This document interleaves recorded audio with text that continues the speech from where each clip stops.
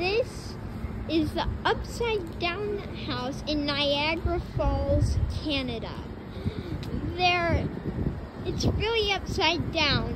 And let's go inside to take a look at what's in the house. That's where you get into the house. And let's go inside.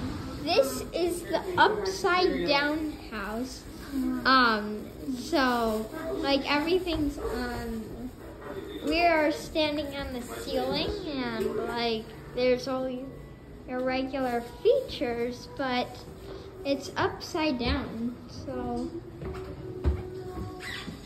so like this, there's an oven.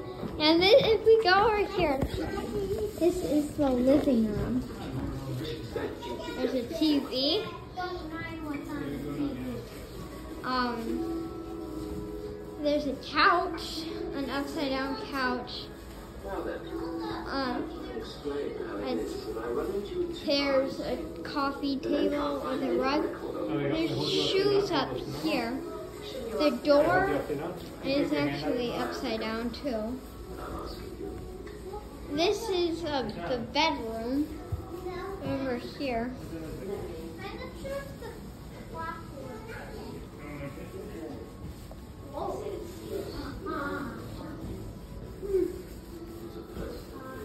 This is the kids' bedroom.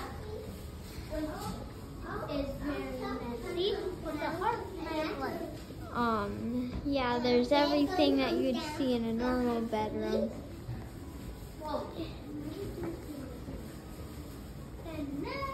And this, we're still walking on the ceiling.